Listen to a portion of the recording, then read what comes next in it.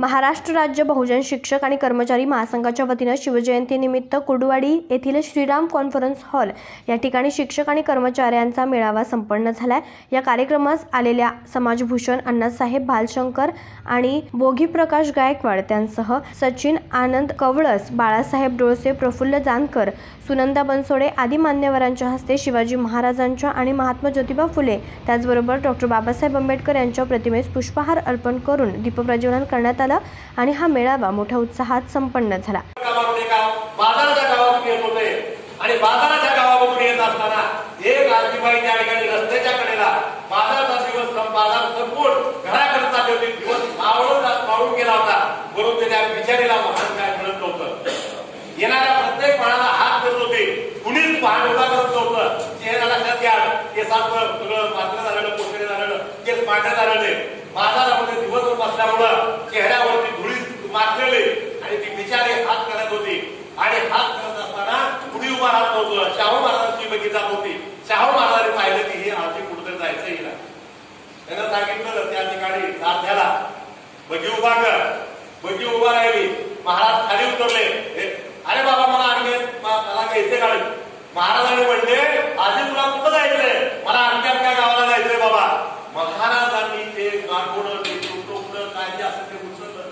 आजीला हात दिला आणि गाडीमध्ये घेतलं. आणि आजीला बाबा इथं थांब माझं गाव आलं. पैसे किती द्यायचे बाबा तुला? आजी कशाला पैसे देतील? करायचे असेल तर त्यांच्या विचारांचा वारसा आपण प्रत्यक्ष कृतीत उतरवला पाहिजे.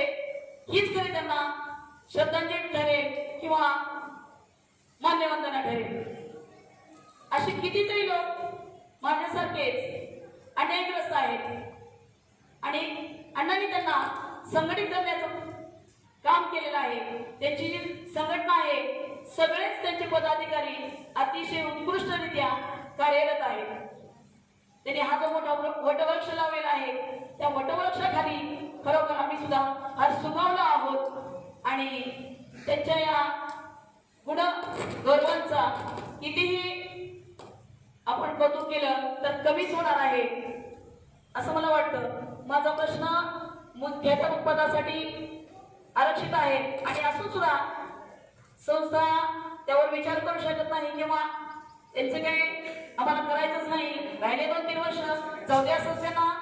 उद्या रिटायर बघू नंतर किंवा आम्हाला करायचंच नाही. अशी ही त्यांची दमदटी चालू आहे. पण कुठेतरी या अन्यायाला फोडण्याचं योग्य वेळ आल्याशिवाय राहत नसते. सत्य हे लपून राहत नसतं. सत्य हे शेवटी सत्यच असतं. आणि एक ना एक दिवस त्याची वेळ आल्याशिवाय राहत नसते.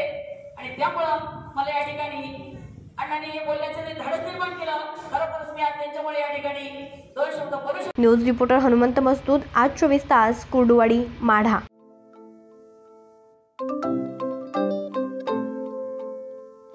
नवनवीन आणि ताज्या घडामोडींसाठी आज चोवीस तास सबस्क्राईब करा. त्याचबरोबर बेल आयकॉनवर क्लिक करा आणि मिळवा आमच्या बातम्यांच्या नोटिफिकेशन्स तसेच आज चोवीस तासची प्रत्येक बातमी आपल्याला कशी वाटली हे कळवा.